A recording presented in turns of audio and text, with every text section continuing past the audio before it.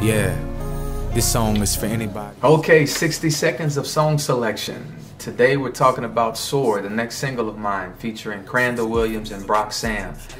Um, I never tried to select this song. This song just kind of came to me. Uh, many of you may know that I'm a pastor, and so I was driving to the office one day, and as I pulled up, the song just kind of came to me.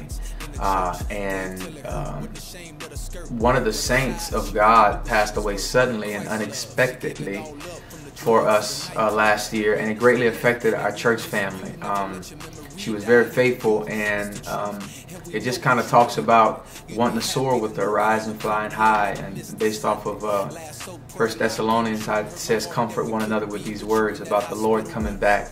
And uh, this this isn't the end. And so the song is dedicated to Sister Natasha Etienne, who passed away.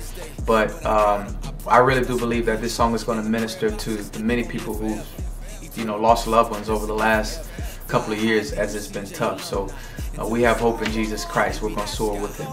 So that's 60 seconds of song selection.